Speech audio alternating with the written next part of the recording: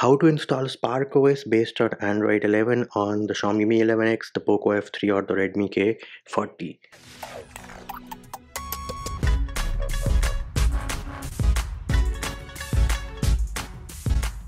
Hey peeps, what's up? Munchy here, back with another video and in this video I'm going to show you how you can install Spark OS official build based on Android 11 on the Poco F3, the Mi 11X or the Redmi K40. Now, what are the prerequisites for this video? Well, you do need to have an unlocked bootloader and you also need to have a custom recovery installed. We are using TWRP recovery by Vashisht for the purpose of this video and how do you unlock the bootloader, how do you install TWRP recovery videos for those can be found in the description of this video. Next thing make sure that your battery is charged at least 50 to 60 percent. Do not and I repeat do not do this process if your battery is at 20 or 30 percent. Another thing make sure you have a backup of all your pictures, videos, anything important which you have on your device because we are going to perform a format data and you are are going to lose all your pictures videos and anything important which you have on your device. Another important thing you need to make sure is that you are on the latest stock version of MIUI for your variant of the Poco F3 or the Mi 11X again be on the stock version of MIUI for your variant of the Poco F3 or the Mi 11X and how do you go back to stock from a custom ROM? Again video for that can also be found in the description of this video so here we are on stock MIUI version 12.5.1 based on Android 11 and this of course is the Poco F3 but do note the process will work even if you have the Xiaomi Mi 11X or the Redmi K40 as long as you are on the latest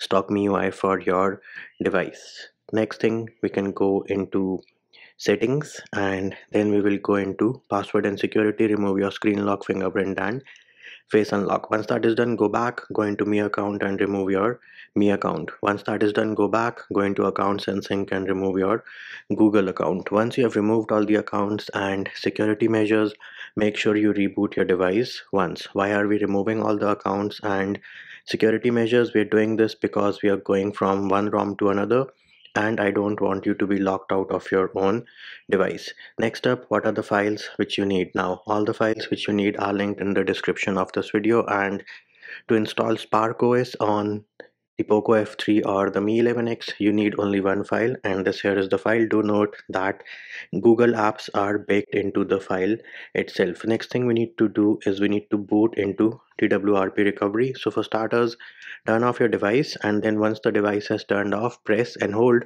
power and volume up together till you see the recovery logo or you can also let go of the power button as soon as you feel the vibration. So here it is i let go of the power button as soon as i felt the vibration and we have now booted into our custom recovery which is twrp first of all go into wipe advanced wipe select dalvik and data. That's it. These are the only two things you need to select and then swipe to wipe once that is done tap on the home button go into install.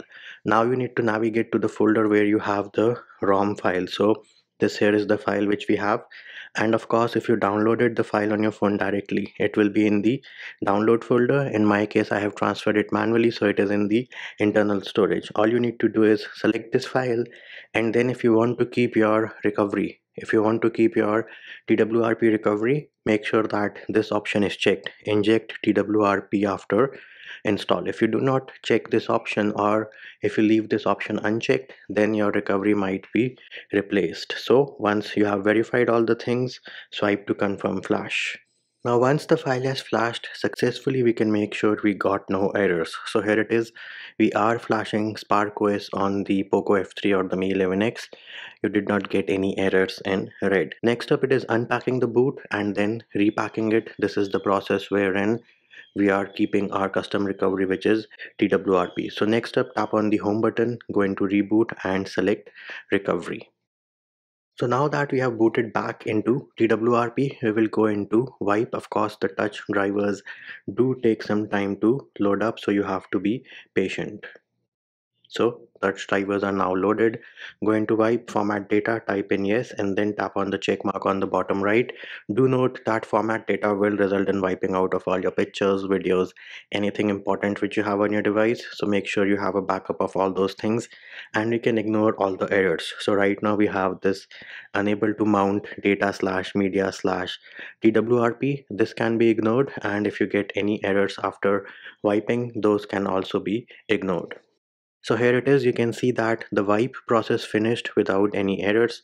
However, we are getting some more errors like fail to mount, system root, system ext, product, vendor, and ODM. All of these can be ignored, just select reboot system.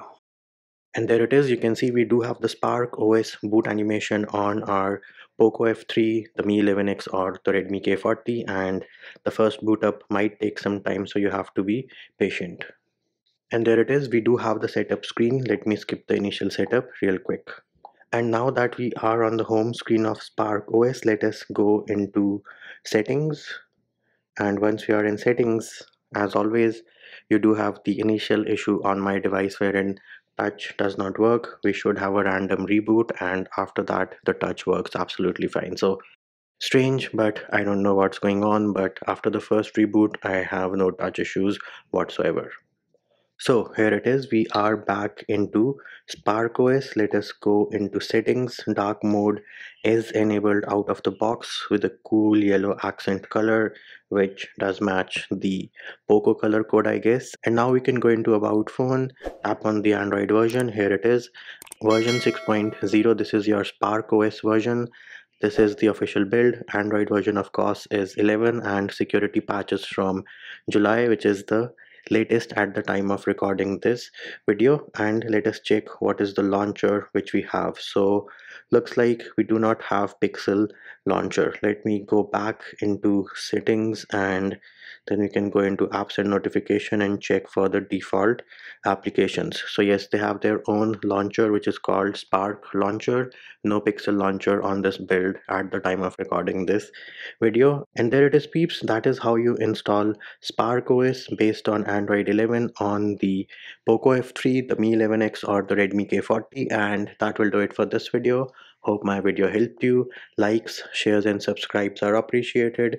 Feedback and comment more than welcome. See you when I see you.